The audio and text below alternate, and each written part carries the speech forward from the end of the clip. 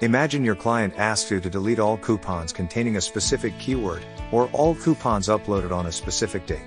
That can be hard without any help. But don't worry.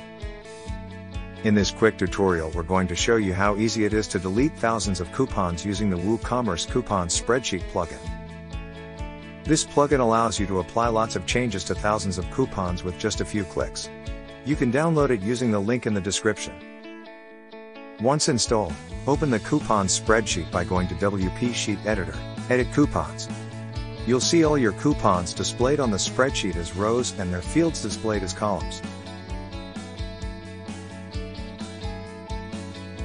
First, you need to open the Bulk Edit tool and open the search options.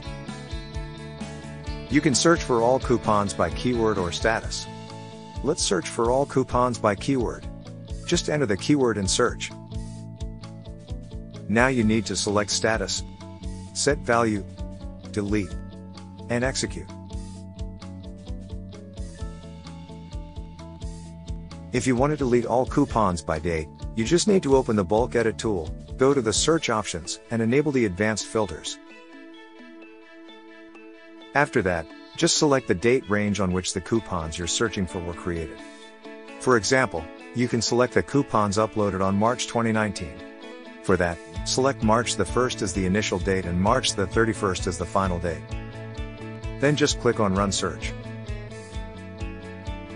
Now you need to select Status, Set Value, Delete, and Execute.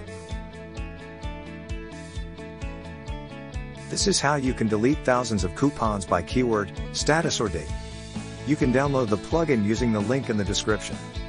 Also, you can visit our blog to find hundreds of tutorials.